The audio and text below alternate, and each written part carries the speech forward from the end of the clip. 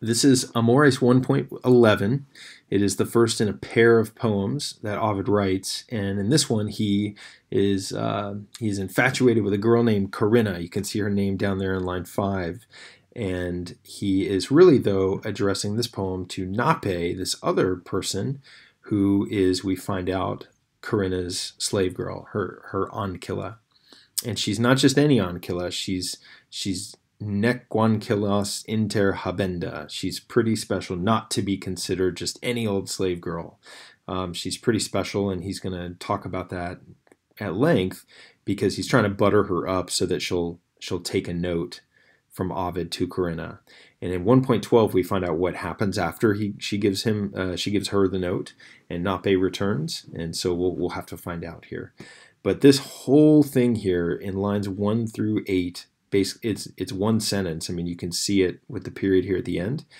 Um, and one through six basically is him calling her all sorts of wonderful things.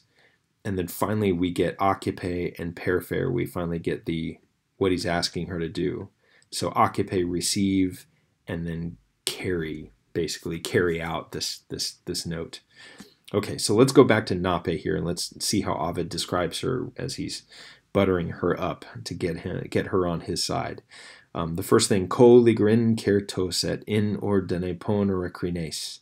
Um, we know colligere means to like bind together, to gather. So to gather uncertain somethings, we're not really sure what they are yet. We know they're masculine. And in order to ponere. So we see colligere and ponere, and to put in order, and then finally we get the crines. So delayed there for anticipation, but her hair. So to bind or to gather her incertos crines, her unkempt or disheveled hair, and to put it in order, basically to, you know, to style and comb her hair. And then we get a really important word here, the enjambment of docta. So docta from doceo docere means to teach. And so this is the, the perfect passive participle of that, literally. So having been taught, and it's feminine singular to agree with Nape. Hey, Nape, having been taught to arrange and to place her un, her her uncertain, her disheveled hair in order, right? To gather her disheveled hair and to put it in uh, in order to comb it and then we get another. And by the way, nape is vocative, as is docta and habenda and all of these other words that we're using to describe her because we're addressing her. Hey, nape, you, skilled in doing these things. And ne, and then we get ancillas, so slave girls. And we don't know why it's accusative yet, but the next word is inter. And so hopefully we realize that this really should be inter ancillas so we have a, what's called an anastrophe, right? The inversion of the usual word order. So among slave girls, and then the ne, of course, goes with the verb. And this is from habeo habere, to have or to hold. And the form here, hopefully we recognize that form is uh, the, the gerund gerundive, the nd. But notice there's no causa or gratia. There's no, you know, for the sake of having or holding. Um, there's no like habenda est, must be held. Um, there's none of those sort of normal uses of the gerund or the gerundive that we have here. So maybe, and, and this is what it is, is it's really just the plain old future passive participle. So the best way to translate that in English is to be held, or here maybe to be considered. But ne habenda, not to be considered among slave girls. And what Ovid means here is that she shouldn't be thought of as just any old slave girl. So skilled in gathering uncertain hair and placing it in order and not to be considered among slave girls.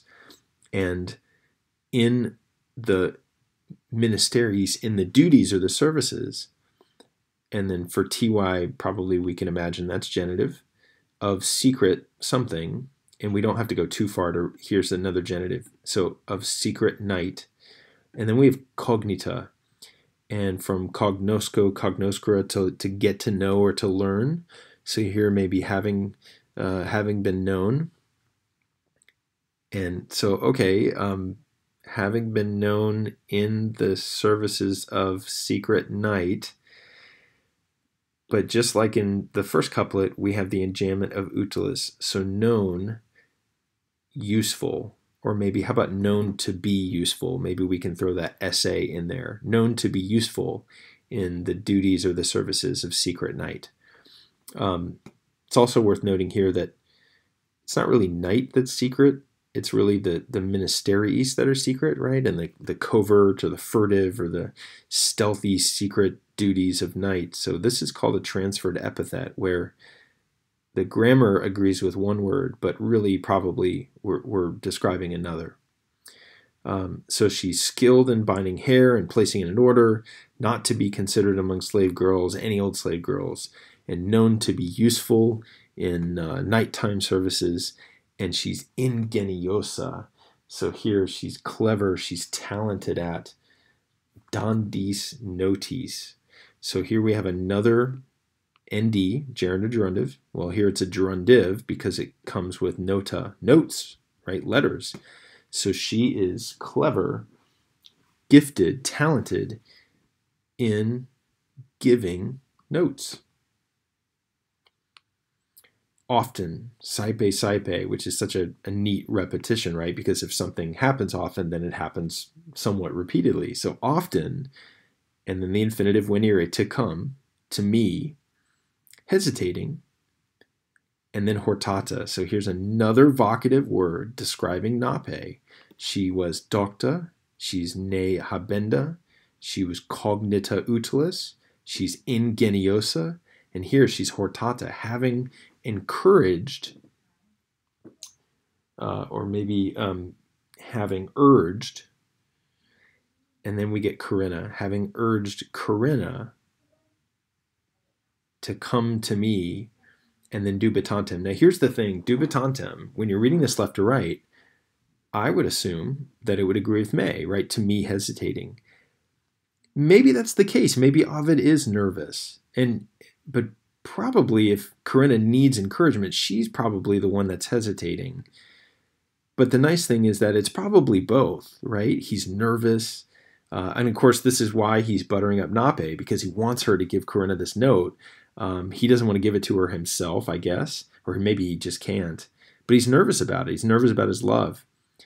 So, having often encouraged Corinna, hesitating to come to me, maybe also hesitating. Often, and here's another one of these words, reperta, having been discovered or found faithful.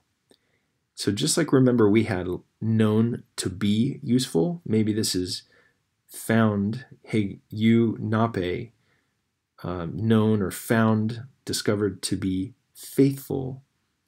And then we have laboranti and mihi. And I don't know about you guys, but my students always uh, mix up, always kind of forget that that's that dative I ending from the third declension. So no, or discovered to be faithful to me, laboring, struggling, working. Okay, so we butter Nape up. Now, finally, this is what we're asking her to do receive.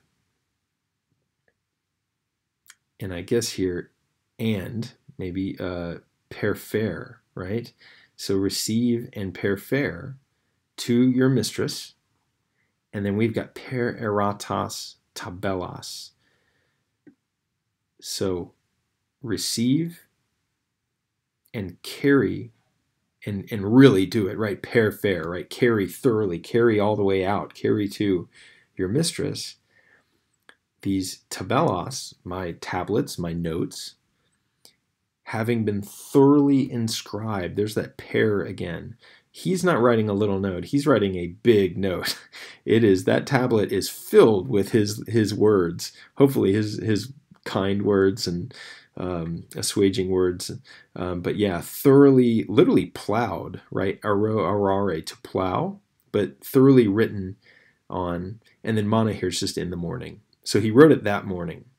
So receive those tablets and carry them to your mistress and pelle, there's another infinitive here, and do away with obstantes moras, delays getting in your way And sedula here is an adjective, um, but you know it's right next to the verb, and so as is often we can take it kind of adverbially and sedula maybe attentively, carefully do away with anything that gets in your way, delays, obstantes, getting in your way.